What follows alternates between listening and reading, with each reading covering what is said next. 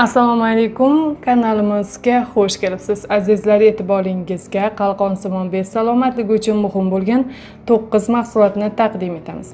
Ko'pchilik qalqonsimon bez kasalligi ya'ni bo'qoqqa e'tibor qaratmaydi.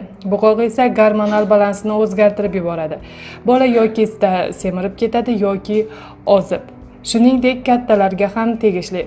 Azizlar shuning uchun e'tiborliroq bo'lib farzandingiz va o'zingiz albatta bu to'qqiz mahsulotdan tez tez iste'mol qilib turing.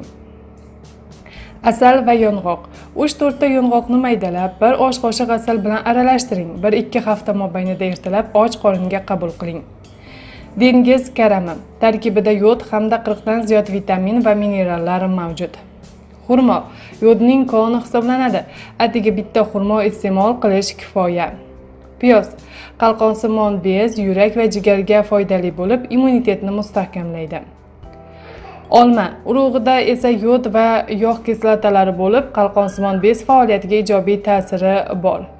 Eslatib o'tamiz olma urug'ini ko'p iste'mol qilib bo'lmaydi. Krab go'shti. Tarkibidagi b 12 va sink rux moddasi immunitetni chiniqtiradi. Chernika antioksidantlarga boy hamda qalqonsimon bez faoliyatidagi gormonal o'zgarishlarning oldini oladi. Ismaloq lyutein va karotenoidlar hisobiga qalqonsimon bez faoliyati to'xtab qolmaydi. Qizil baliq omega 3 yog' kislotalari hamda ko'plab vitaminlarga boy bu mahsulot tanangizga quvvat bag'ishlaydi. Azizlar sizlarga yetkazmoqchi bo'lgan foydali ma'lumotimiz shulardan iborat edi. Hayron o'z kanalini kuzating va doimo sog' salomat bo'ling.